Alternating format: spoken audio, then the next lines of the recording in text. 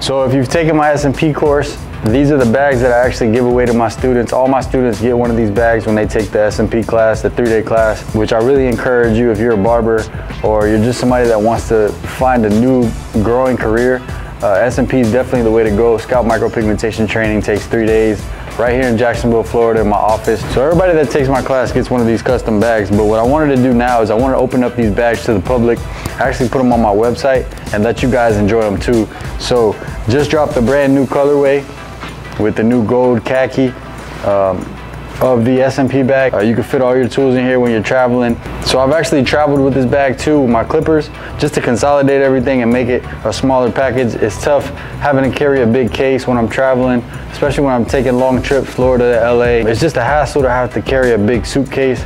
So I'll put pretty much all my clippers in this bag and I'll use it as a clipper bag. With this design, you can also use it for your cameras. I know a lot of barbers out there are starting to use cameras. Uh, this makes for a perfect camera bag. It's got nice soft cushion inside and I'll go ahead and open this thing up and show you guys what the inside looks like.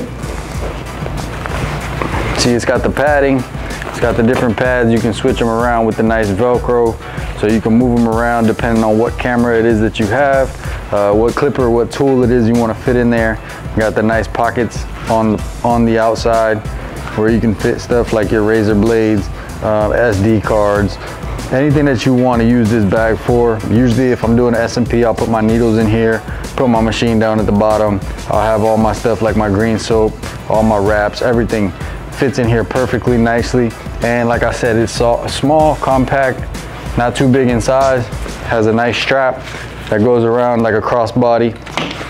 And it's just dope. Got some pockets on the outside for more space, more carrying space. Got pockets in there. Got a little flap so you can add different things, whatever you need.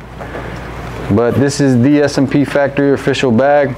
We're dropping this again on my website, so be on the lookout for that. I just want to give you guys just a quick sneak peek behind the scenes of what I'm doing and what is coming to the SMP Factory.